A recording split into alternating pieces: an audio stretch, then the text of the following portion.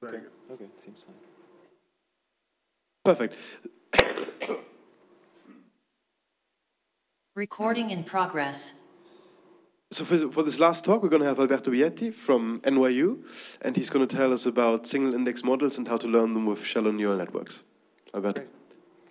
Okay, thank you so much, Sebastian, for the intro. Thanks, every, thanks for inviting me to, to this wonderful workshop.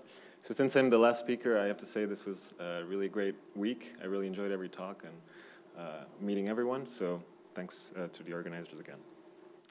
Okay, so this will, this is kind of a, a, work that it's not yet on arXiv. Hopefully it'll be there soon, so it's a little preliminary, but please, uh, you know, stop me for any questions and, and happy to take questions also during the talk. I don't have that many slides. Uh, so the idea is single index models, if you've heard of that, that's basically when you have a target function that actually only depends on one direction. So a projection of your data on only one direction. So the goal here is you would like to kind of recover that structure, but also learn potentially the complexities of the function uh, that you define on top of that projection.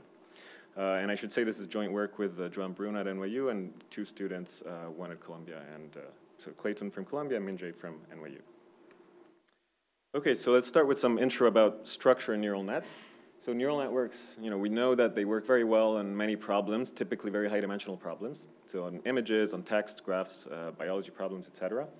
So high dimensionality of the data is usually kind of a crucial aspect uh, of these models, and hopefully it seems like deep learning really is successful on these kind of tasks. So high dimensionality is a big, is a big deal. Uh, another problem, another aspect is that optimization typically works. So we just use simple algorithms like gradient descent, uh, and we can learn models and things work out. So there has to be an important aspect of any theory that tries to explain this, uh, these models. And finally, you know, they're often when you have a lot of parameters, these models are very expressive. So you have, typically you have universal approximation aspects, so you can fit any data, and even on a training set, you can typically easily fit, uh, you know, all your, all your data using a neural net. So we're gonna try to like incorporate these three aspects. And when I talk about structure, here we'll consider one form of structure, which is like we have some structure on the target function. So we assume that uh, we have some data x with a, perhaps a simple distribution, think of it as a Gaussian, and then the labels y in your data are generated from some function f star of x, and then maybe with some noise. And the point is that typically in these high dimensional problems, you need some structure on this f star in order to learn efficiently. So one question you might think of is if you have these problems that work in high dimension, what's the right structure to put on this f star? So we'll, you know, there's various ways to put in structure, and uh, we'll think about one specific one in this talk. And then once you put these assumptions on the target, what deep learning theory, some, what some parts of deep learning theory have to do is just how do you show that a neural network can actually efficiently learn, so from few samples and with efficient algorithms, uh, with, with such a structure, with such an assumption on the data distribution. Okay, so let me go through a few things that kind of show up uh, in the literature. Uh, so the first case is kind of generic assumption on f star. So this is classical sort of non-parametric statistics. So maybe f star is, Lipsch is a Lipschitz function or it's a smooth function with a certain number of derivatives, uh, let's say beta.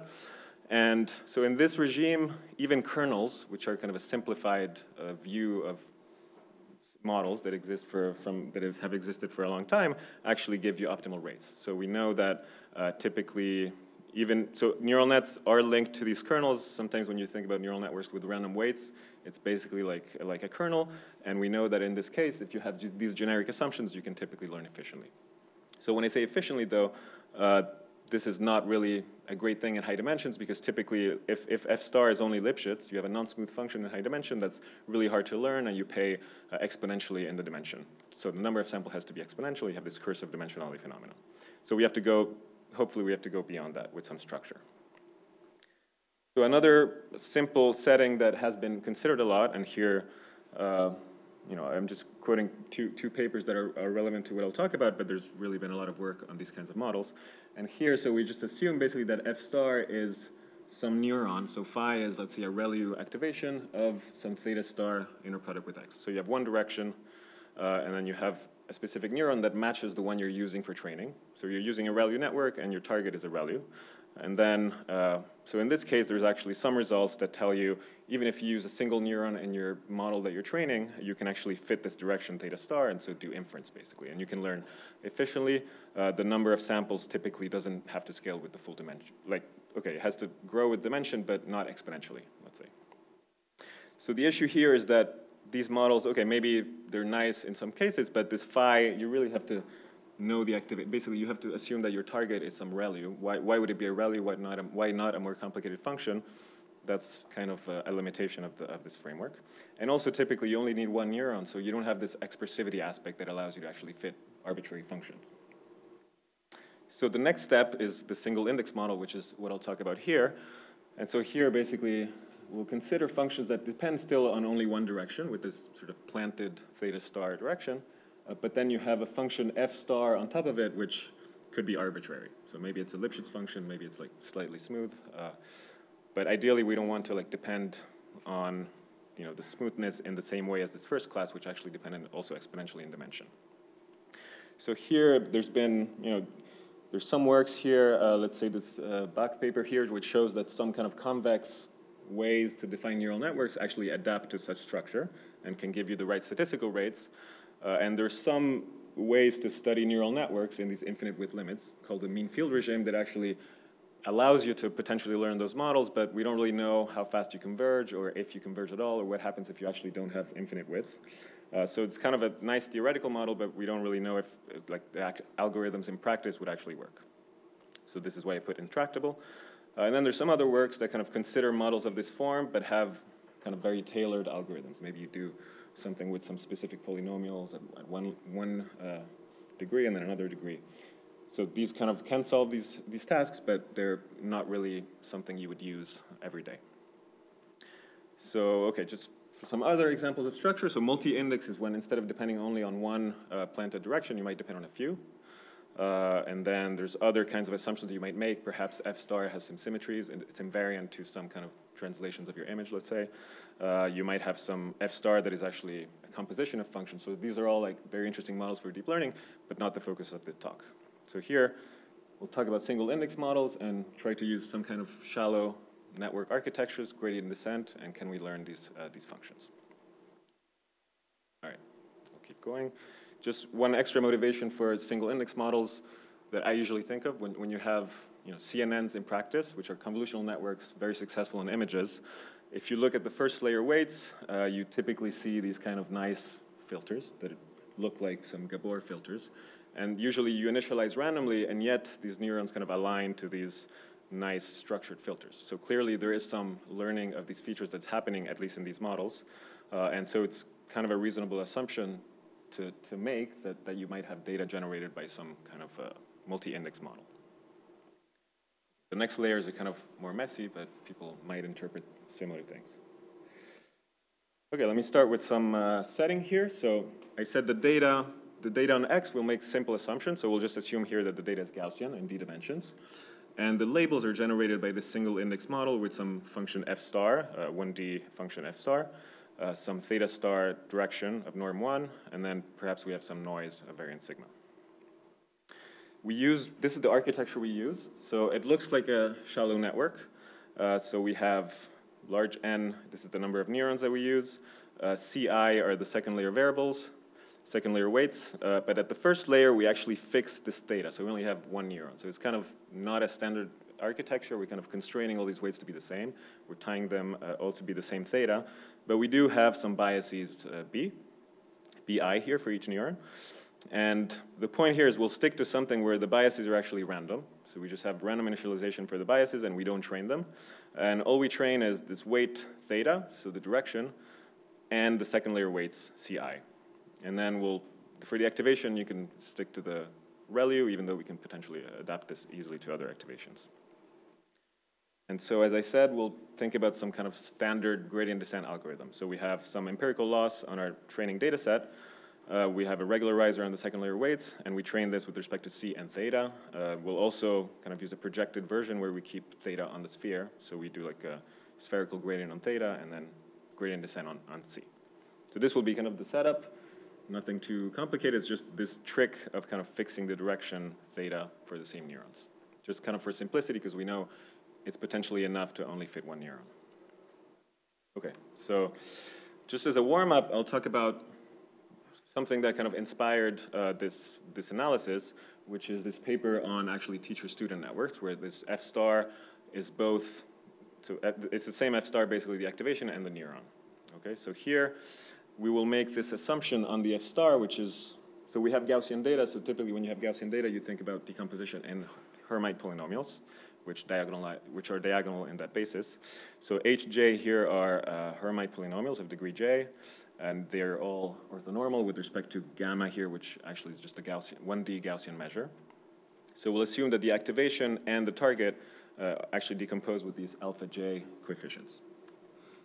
Okay, so if, in this case, if, if you assume this, uh, we can look at this squared loss objective on the population data. So in expectation over x. So we have f star, so we assume that we know f star, so both our activation and the target have this f star. Uh, our training is on theta, but then the target is uh, theta star. So you, you, know, you, you compute this, uh, this square, you develop it. The, the only term that actually ends up depending on theta is this cross term here. And then you, there's a property of Hermite polynomials, which is when you take these functions that actually depend on two different angles, projection with respect to theta and with respect to theta star, uh, then actually the function will end up depending only on this correlation that I'll call m between theta and theta star. Okay, so, and then because the coefficients of both f star and of both things here are actually these alpha j's, we get alpha j squared uh, times mj. So if you just kind of develop uh, and use the orthogonality property, this is what you get. So basically we have, at least when m here, the correlation is positive, the landscape of this population with respect to m, so you just look at it as a function of uh, the correlation here, it just basically goes down. Okay, as m increases between 0 and 1, uh, this landscape kind of decreases all the way to some, something. Okay. So basically, as long as we are on the right side, if you initialize basically with an inner product that a correlation that is positive, uh, then you can think that if you do gradient descent on the population loss, at least uh, you start going down, and eventually you get to m equals 1. Okay, so this is basically what, what is shown in that paper.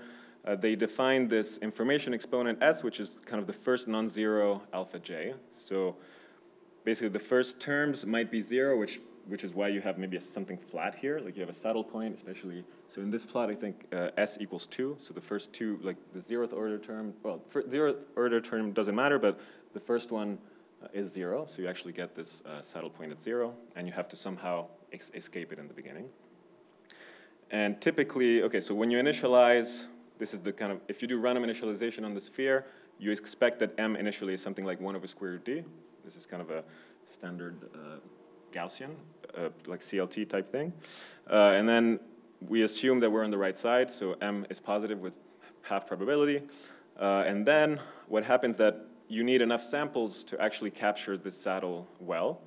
And what they show in the paper is that, okay, actually it could be something tighter than this. I think it's s minus 1 when s is large enough. Uh, but basically, when you have d to the s samples, then that's enough to kind of escape this saddle point in the beginning.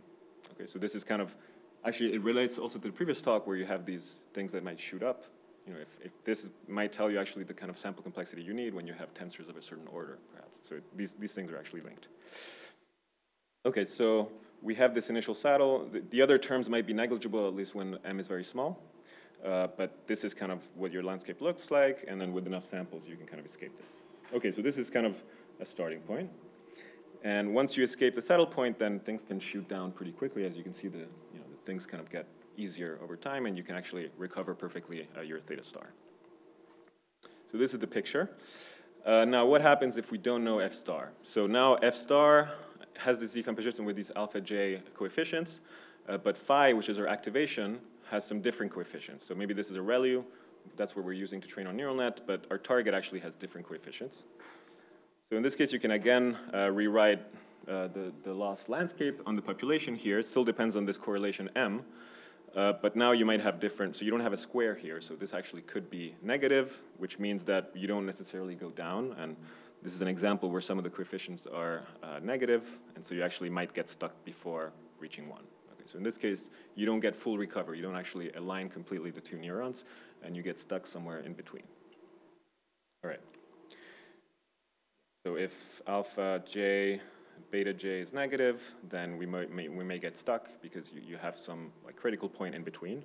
Uh, but yeah, so if at least if the very first term, so what, what will matter is basically the first term that is positive so that you do go down a little bit. Uh, so if the information, S here is the information exponent, the first non-zero term, if that coefficient alpha s, beta s is actually positive, then you can go down a little bit until you get stuck at some first uh, zero gradient point. Okay.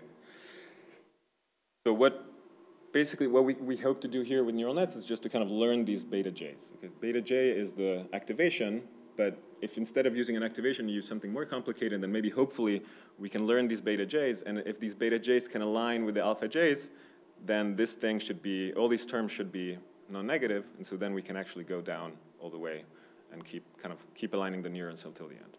So that's kind of uh, the, the idea of this work. And the point will be using these random biases to somehow try to learn some, uh, something about this outer function. And so then this should allow us to also learn uh, theta perfectly. Okay, so this was kind of the full idea, and I'll give a bit more details just so that you get something out of it, hopefully. Uh, and the starting point is we, we can again write the population landscape. So here f star is the same uh, target function with these coefficients alpha j. Uh, and our network is this fc theta that depends both on output layer c and on these, so here big phi is kind of a feature map. You can, if you know kernels, you could think of this as a kernel, but it also, this kernel depends on this projection with respect to theta. So the kernel is actually learned in the sense that theta is being shifted. And so if you develop this, this is basically what the network looks like. So we have this uh, parameter theta that we're optimizing, as well as these parameters c at the second layer. And you can again write the population loss. Here we'll add this regularization term. Uh, but basically you have another term that pops out, which comes from the square, uh, the expectation of the square of our learning network. That's this first term. And then the second term, again, depends on this M correlation. Okay, so M is again the correlation. Uh, we have this alpha j, but then we have something that actually depends on c, our weights. So this can potentially be learned. Okay, so we can tune it, we can learn it.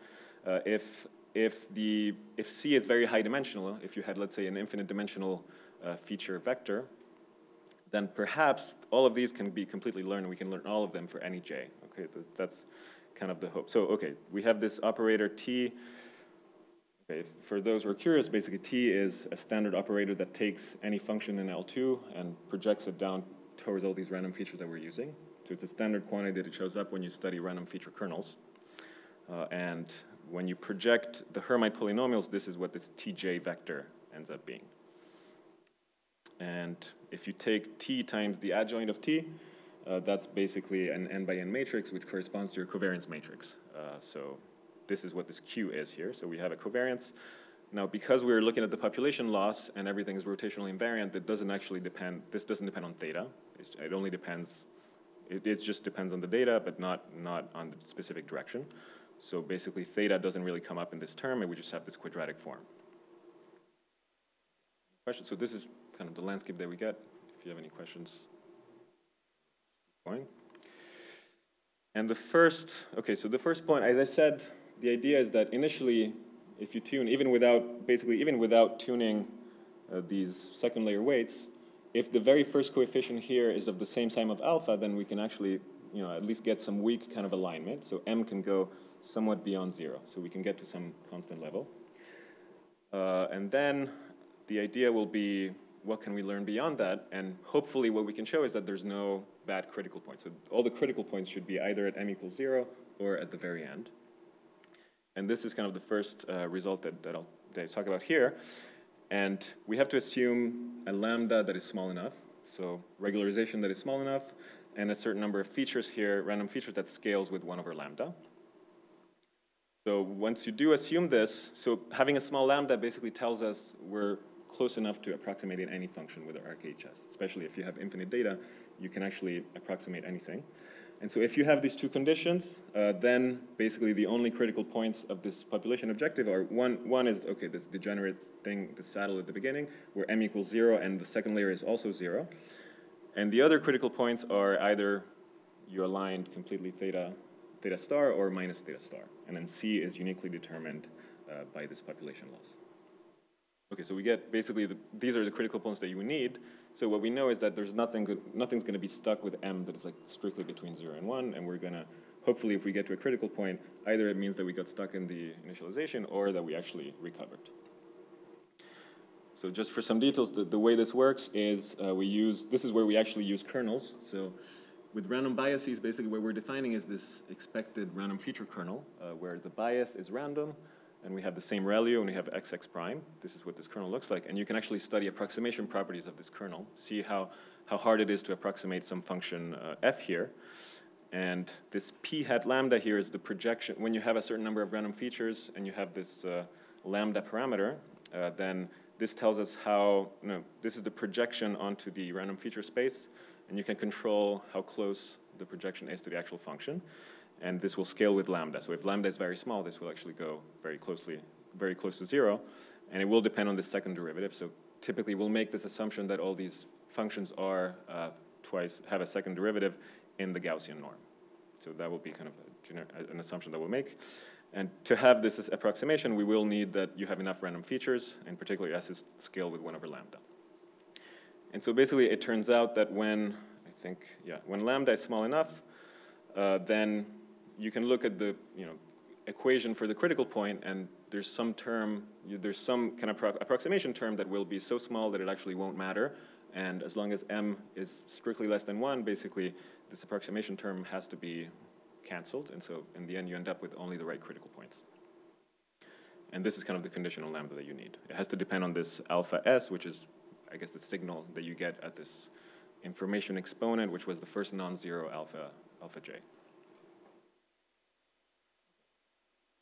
So this, is, this tells us basically, you know, if we use a second layer, it can actually help us cancel out those critical points, which might be an intermediate correlation. And so hopefully, if we train all the way, we can actually get a perfect alignment and just some intuition on what the algorithm actually looks like. So this is, remember, this is the population loss. One key thing is initialization. Uh, this will actually, this is what's relevant to, to capture sample complexity because you will need uh, these things to like not be, so you, you will need, you'll have something that's very small because you have the saddle, so you want to capture enough of signal so by using enough samples. And okay, we don't actually use this SGD analysis of the paper that I talked about before. We, here what we do is just concentration of empirical and uh, population landscape. And so those two need to be close enough so that you don't get lost uh, in the initialization. But so we, we can have these anti-concentration results so that the, the, initialization of both M and this other factor C transpose uh, TS are somewhat like away from zero. We'll assume that things are kind of aligned so that we can go down. Uh, so that's a probability one half event. Then we'll have two phases. So the first phase will only do what I said earlier, which is kind of try to get to a non-zero level of m. So here we only train theta. C, we leave it at with its random initialization. And we'll actually try to, we'll tune the initialization norm so that eventually, when we get to this level gamma, uh, we'll actually have escaped uh, the initial saddle.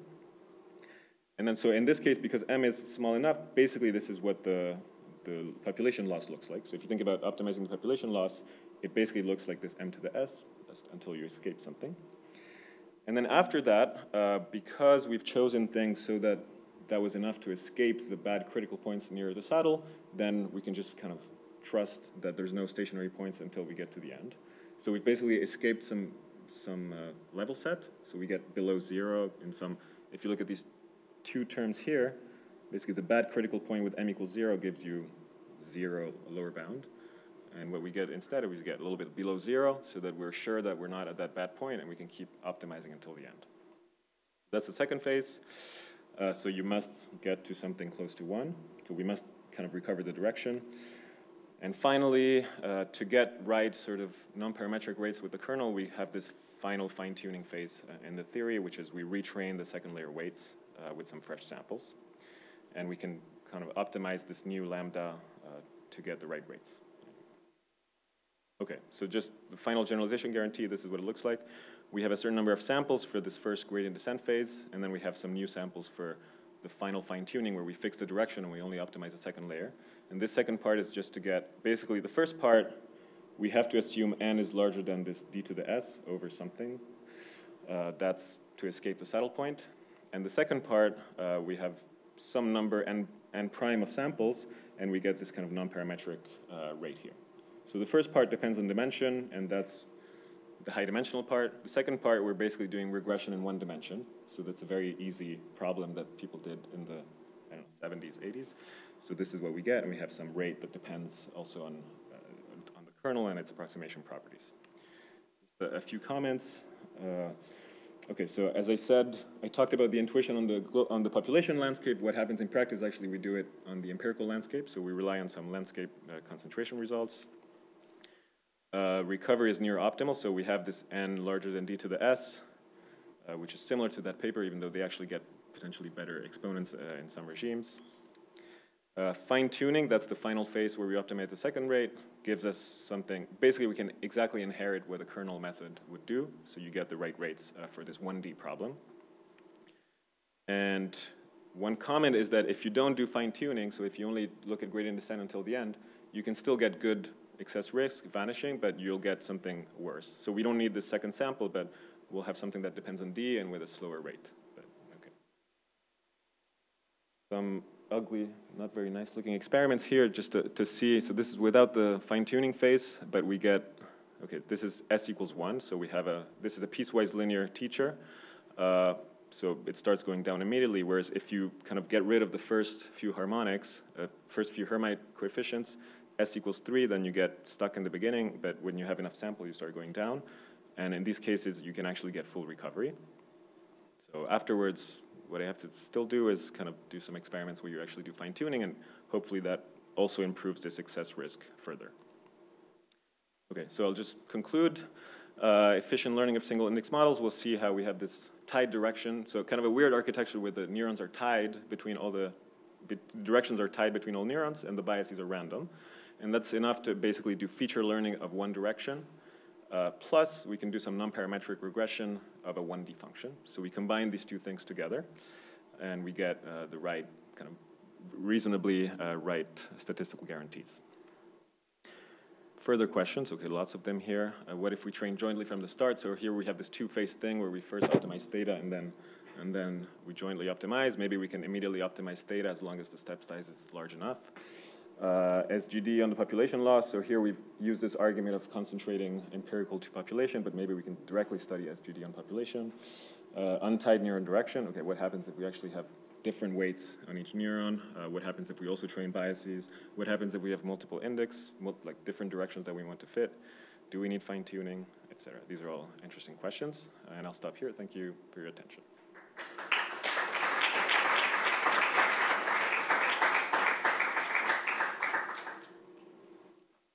Thank you very much. We have time for a couple of questions. So, Marco wants to start. Thank you very much for the very nice talk. Um, can you make any guesses of how the landscape will look like, say, for a two-index model? Right. I mean, I think, so there's actually some, some papers that start studying that. I think the initial saddle point might be similar. What I don't know is like when you have different neurons, they might move in strange ways. And I know, actually, I know maybe Sebastian has done some work on like tracking these different correlations between different neurons, right? So things might behave sometimes nicely, but maybe sometimes in complicated ways. Maybe. So anyway, I feel like that's that's an interesting question, and characterizing kind of provable guarantees on when you can align is. A, is a For example, if they're orthogonal, would you expect to have a similar picture? Yeah, I think even if you have just two training neurons, I think they, they might align to the right things. Thanks. Maybe if, if I can follow up uh, with a question. So, um, when you do the fine tuning, like what kind of solutions do you find? Like, is the network going to do something very sparse where it basically turns off all the neurons but one with the second layer weights? Do you take some oh. kind of effective average at the second layer? Uh, maybe you, you, maybe no, you said that. But I think it's. Uh, so basically, if you don't do fine tuning, you already get kind of ridge, like an L2 uh, solution. If because we have, so the point is we have this L2 regularizer. So you get kind of a Hilbert norm, so you don't get sparse uh, C. You get kind of a dense C, and the point of fine tuning is also we can, so the lambda, it turns out that this lambda uh, regularization parameter, if you make it too small, then you'll suffer in the first recovery phase. So that's also why it's nice to have the separate phase where you can take a lambda that's potentially smaller and get the right rates for the non-parametric part. But basically, you'll get a kernel method, so kind of an L2 uh, Euclidean. Okay, cool. Thanks. There's another question right there.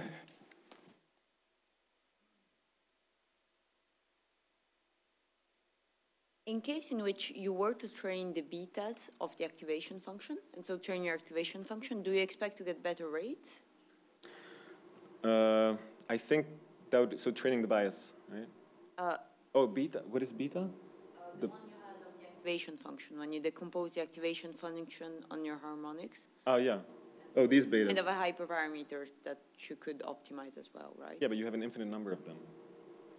Okay, yes, but you could truncate at some, Yeah, so you could, con- yeah, so that, that's actually what this other paper that I mentioned by Daniel Hsu, they kind of optimize one, one polynomial at a time until you get a non-zero one and they get the direction.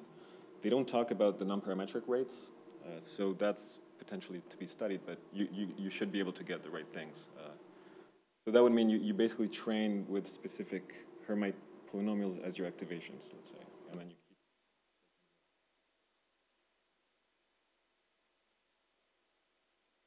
Thank you for that question. Any other questions? Any last question for Alberto? Anything on the chat, maybe, Marco? Or? No? Okay.